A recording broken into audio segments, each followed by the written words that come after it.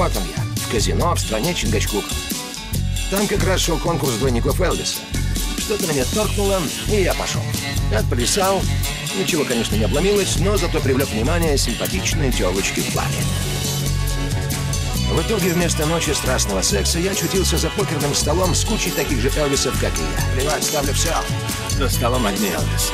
Так поприветствуем как короле. Thank you very much. Но внешность Элвисов бывает обманщик. Парни, полегче, парни!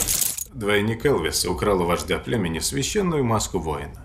Один миллион долларов. Ее цена. Завтра к вечеру маска должна быть у меня. Дело пахнет трубачком, да? Не исключено.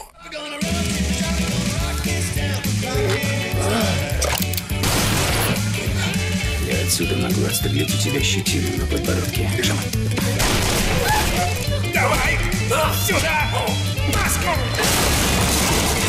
Поможешь нам найти маску. Мне нужна маска. Какая неожиданность. Остальные сегодня ее просто требуют. Отдавай, а вам она просто нужна. Где маска? У меня ее нет. Ответ неверный. Это домоган.